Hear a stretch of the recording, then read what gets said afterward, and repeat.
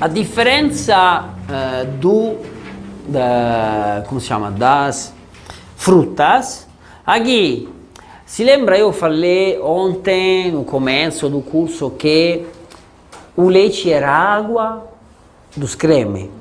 Só que no sorvete eu boto água no final. Por quê? Porque a água não tem nenhum valor nutricional. Então não mexe com, minha, com meus valores. Nesse caso não. A nossa água, que será o leite, botaremos no começo.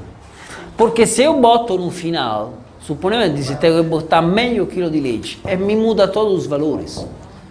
Agora, quanto leite vou colocar? Geralmente, como regra geral, leite, ovviamente falamos di leite integrale, eh? 600 gramas Sempre, sempre. Regra geral, no 90% dos casos, começaremos sempre botando leite 600 gramas, ok? Agora, quanto, não, vamos ver açúcar, gordura, proteínas, etc, etc, etc, porque o leite... Sì, sì, agora no, cominciamo però primeiro pelo leite, depois passamos aos objetivos, ok?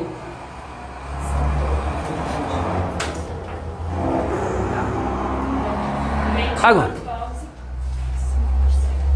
Uh, integral, não é o primeiro que você encontrará. Agora, o leite tem, aí tem uns valores nutricionais médios, 5% de lactose, a lactose é um açúcar, o 5% de 600 é 30.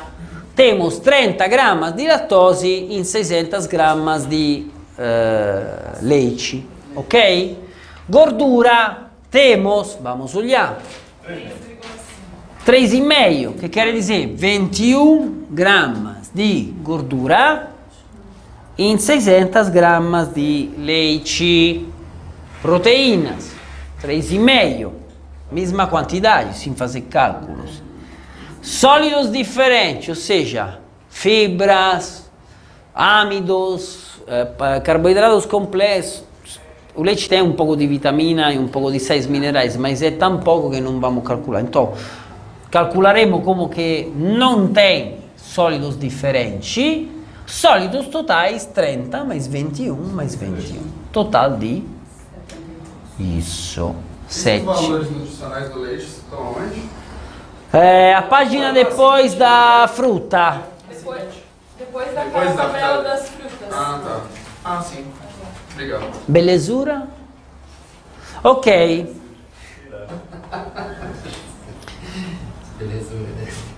A esse ponto, se fosse, sei lá, um creme de pistache, de avelã, de chocolate, a gente botaria o sabor.